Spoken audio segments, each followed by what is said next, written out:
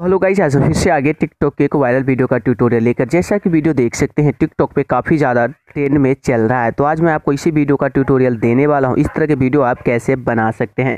तो सिंपल आपको करना क्या है, वीडियो का डिस्क्रिप्शन से काइन मास्टर अपलीकेशन को डाउनलोड कर लेना है। डाउनलोड करने के बाद प्लस के आइकन पर क्लिक करना है। नाइन इंटू सोलह का रेशियो सेलेक्ट कर लेना है।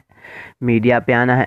और यहाँ पे आपको एक फ़ोटो को सेलेक्ट कर लेना है। तो सिंपल मैं आपको यहाँ को, यहाँ पे एक फ़ोटो को क्लिक कर लेता हूँ। सेलेक्ट करने के बाद इस फ़ोटो पे क्लिक करेंगे और जितने सेकेंड का वीडियो है, उतने सेकेंड तक कर देना है। तो मैंने यहाँ पे तेरह सेकेंड तक आसपास कर दिया हूँ। इसके बाद डन करते हैं। तो अब आपका वीडियो देख सकते कुछ इस तरह से छोटा बड़ा होते हुए आगे पीछे होता रहेगा। इसके बाद स्टार्टिंग पॉइंट पे आएँगे लेयर पे आएँगे मीडिया पे आएँगे। वीडियो का डिस्क्रिप्शन है। मैंने एक वीडियो का लिंक दे दे चुका हूँ। सिंपल आपको वीडियो को डाउनलोड कर लेना है। डाउनलोड करने के बाद सिंपल आपको वीडियो आपको कुछ इस तरह से देखने को मिल जाएँगे। इसके बाद एक्स्ट्रा पार्ट जो भी है बैकग्राउंड का ट्रिम टू राइट कर देना है। वीडियो पे क्लिक करेंगे, इस बॉक्स पे क्लिक करेंगे और इसे आपको फुल स्क्रीन में कन्वर्ट कर देना है। अब आपका वीडियो देख सकते हैं, कुछ इस तरह से देखने को मिल जाएँगे।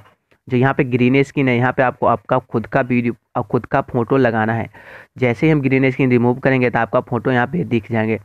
वीडियो क्लियर पे क्लिक करेंगे और यहाँ पे आपको मिल जाता है क्रोमा की क्रोमा की पे क्लिक करना है, इसको आपको सिंपल इनेबल कर देना है।